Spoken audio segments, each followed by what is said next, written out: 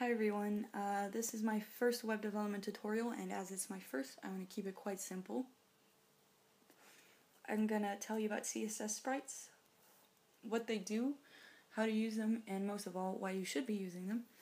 Uh, I think this is a really good trick to learn if you're just new to HTML and CSS, uh, just because I think it's crucial to know if you're going to be building websites, but also because it's just a very easy trick to, to learn how to do, um, even if you only know the basics of HTML and CSS.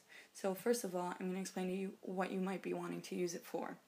Um, to explain, I've made this uh, page, this is my browser window, it's just a blank page with a single black square in it. Now that is a 200 by 200 pixel div, um, with a background image, which is just a 200 by 200 pixel black square. Um, I want it to change when I move my cursor over it. Um, so when I hover my cursor over it, I want it to change from a black background to a red square background. Um, I've done this by changing the CSS background image. Here's my index file. So this is HTML. Uh, I've created a div called noSprite. I'm going to go to style.css um, and show you what it looks like.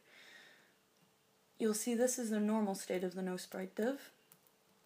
And it has a background image called bgblack.png. So that's the image file for that. Now, it also has a hover state. So what happens when you move your cursor over it and you'll see that I've told it to change the background image to bgred.png. So that's a different file. And I will show you why in practice this isn't ideal. Now, depending on how slow my internet connection is right now, you may or may not be able to see this. Um, but I'm going to hover over it, and before it turns to red, it'll just disappear for a while. It'll just flash up white. Um, you might not be able to see this, but I'm going to show you anyway. So here we go. That was quite fast. I don't think it will be able to capture that. But just so you know, it didn't smoothly change it into red. Um, it flashes white first. And I'll tell you why that is. It's really quite simple.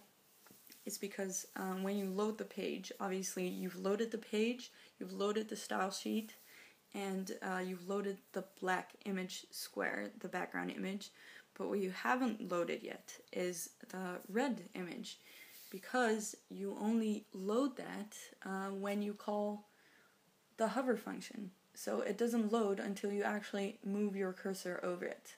That's when it loads for the first time. So, um, especially with slower internet connections, that's just going to look a bit weird. And if you're going to make menus with buttons in them with um, nice rollover effects, um, users are going to ho hover over it, and depending on how fast their internet connection is, um, the button will just disappear for a second and it'll look really weird and not as cool as you want it to look. So there's a way to prevent that.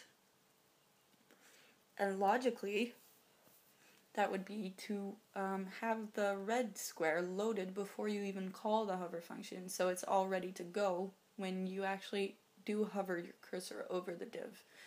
There's a way to do that and that's through CSS sprites. Um, I'm going to show you what that is and I'm going to explain to you what a sprite is. Um, let's just go to my image folder Alright, so this is that black square that you just saw. This is the red square. So that's two different files for the background. Now this is my sprite file. As you can see, it has the black square and the red square already in it, in the same file.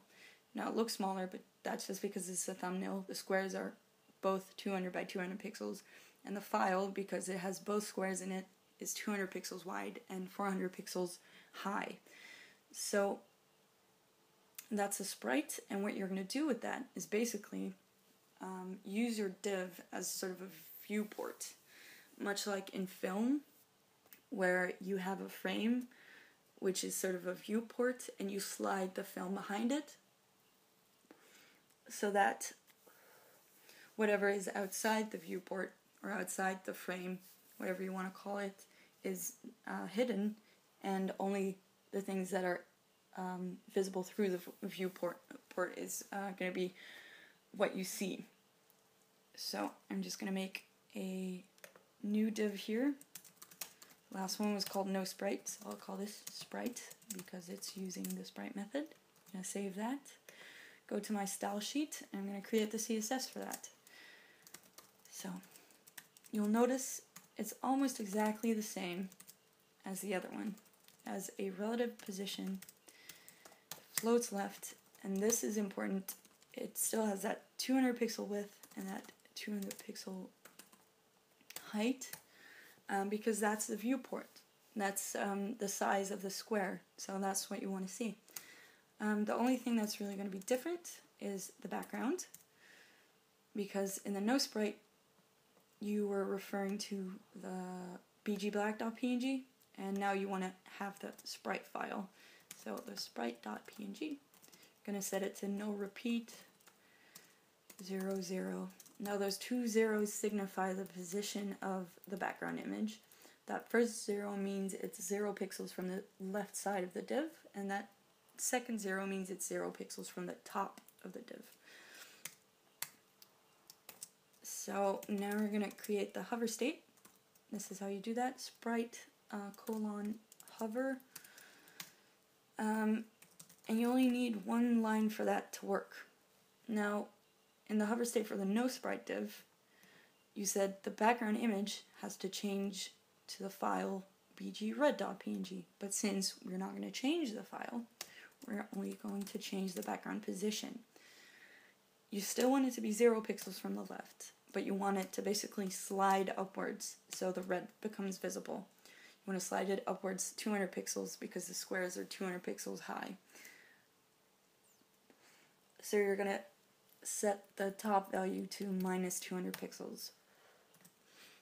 Um, so basically what you've done now is you've set that viewport to 200 by 200 pixels.